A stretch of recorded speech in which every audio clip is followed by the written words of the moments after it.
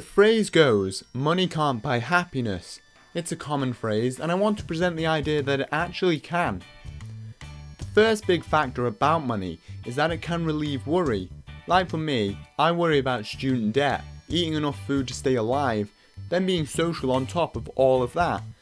So money can relieve us from worry, for which we then can enjoy the things we do more, whether that be studying, crocheting, playing football, etc. The second thing I want to talk about is all about how you spend your money. Now before I can tell you how to spend your money right, let's look at how we actually spend our money. The example crops up from time to time is about winning the lottery.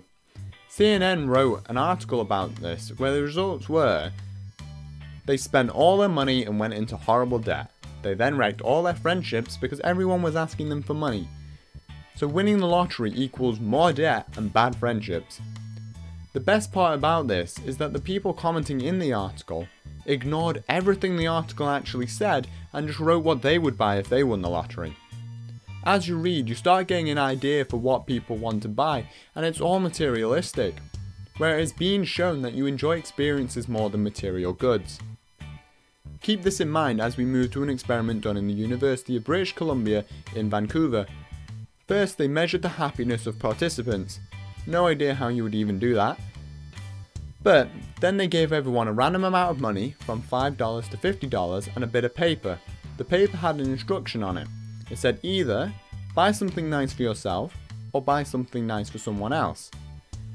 So the people that bought something nice for themselves mainly bought coffee or makeup, and they didn't really get any happier.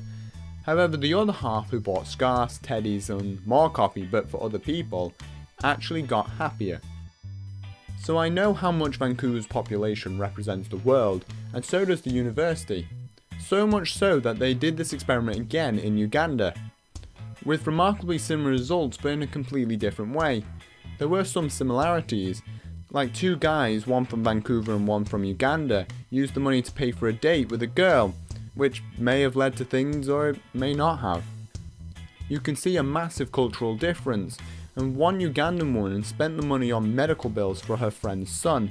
But the fact stays true, it doesn't really matter what you spend it on as long as it's not for you. I think the new saying is if you think money can't buy happiness, you're not spending it right.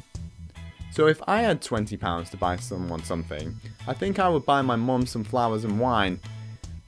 Who would you buy something for and what would you buy? Let me know in the comments below. See ya!